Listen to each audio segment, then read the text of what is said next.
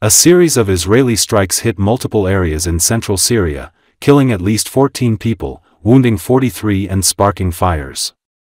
Syria state news agency Sana reported that Syrian air defenses confronted an aggression that targeted several points in the central region, damaging a highway in Hama province and sparking fires that firefighting teams were battling to control.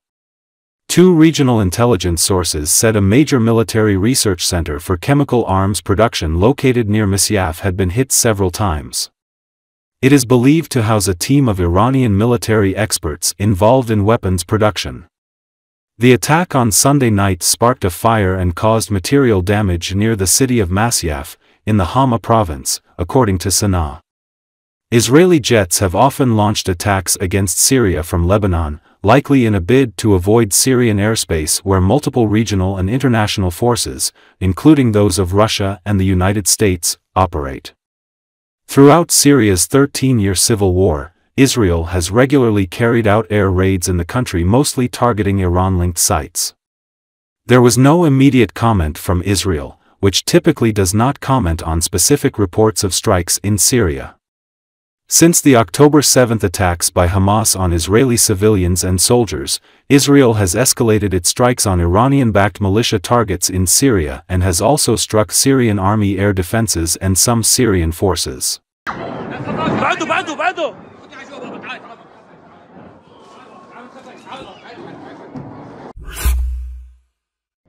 Thousands of Israelis gathered in Tel Aviv on Saturday to protest against the government of Prime Minister Benjamin Netanyahu and to call for the release of the remaining hostages held by Hamas in Gaza.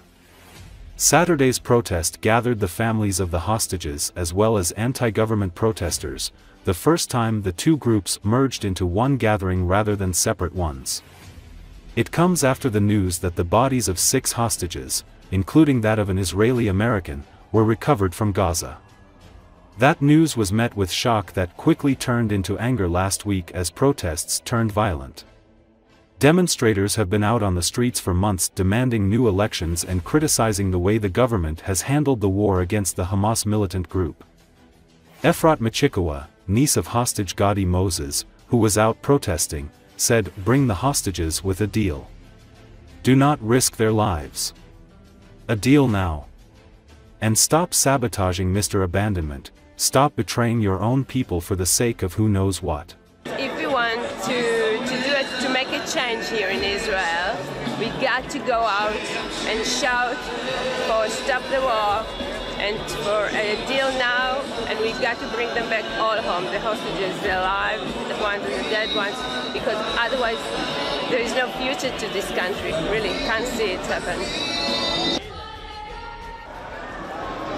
They were alive six young, beautiful people, innocent people. They were alive. They survived. They held strong, just as Hersh's mom cried. Stay strong. He did. They all did. And yet, they were murdered in cold blood.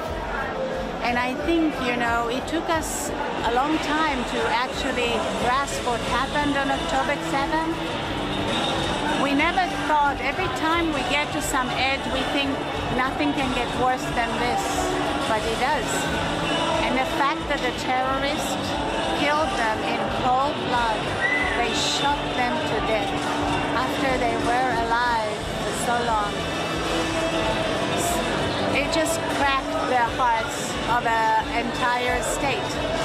So I think even those who were maybe reluctant to go out, who are not used to protest, who are sad but prefer to be in private space within their sadness, understood our voice might, must join together to a one huge scream bring the hostages. With a deal, do not risk their lives, a deal now, and stop sabotaging Mr. Abandonment, stop betraying your own people for the sake of who knows what.